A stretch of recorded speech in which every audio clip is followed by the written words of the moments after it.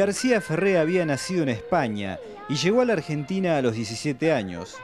De muy joven comenzó a trabajar en agencias de publicidad mientras estudiaba arquitectura en la Universidad de Buenos Aires. En 1952 logró incluir su personaje Pío Pío en la revista infantil Villiquen. En esa tira aparecieron por primera vez los personajes de Hijitus y Oakis. Sus personajes marcaron a varias generaciones de argentinos. Es un poco la transmisión de recuerdos de mi infancia, reflejo de la infancia de muchos chicos y amigos conocidos míos, pero sobre todo responde a una vocación y a un sentimiento de, superación, de tratar de cuidar los principios morales con que me enseñaron mis padres y creo profundamente en la familia.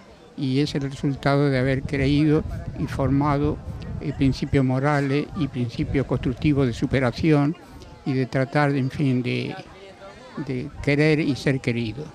El 10 de noviembre del año pasado, García Ferré estuvo en La Plata, fue distinguido como huésped de honor y se realizó un homenaje en la República de los Niños, donde se bautizó con el nombre del artista al Paseo de la Historieta, que se encuentra dentro del predio.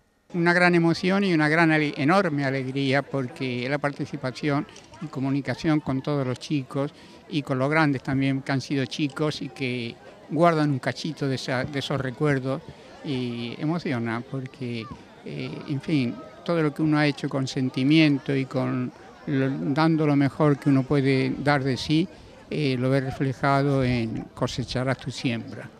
Durante más de 30 años, Manuel García Ferré dirigió la revista infantil Anteojito, con contenido pedagógico, a partir de un personaje popularizado en cortos televisivos.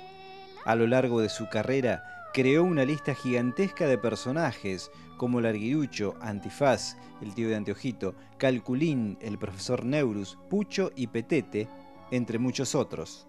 Realmente son más de 50 años dedicados a toda la tarea editorial, productiva de cine y televisión y sobre todo la creación de personajes que no son otra cosa que el reflejo de los mismos chicos y la alegría que ellos dan de vivir, ¿no? Es la vida divina que lo diga la gallina.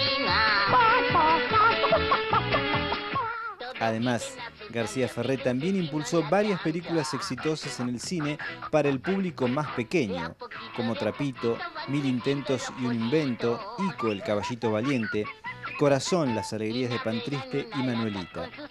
Triste adiós para este querido artista que quedará por siempre en la historia de los argentinos. Dentro de cada adulto hay un chico en potencia que lo queremos ocultar, pero que cuando puede salir a flote, cuando puede fluir, es una alegría volverlo a, vivir y ojalá no lo perdamos nunca. No, papito, hasta que no venga mi amigo el no empieza la fiesta. Pero, oh, aquí, por favor. Nada, nada, rompo el alma.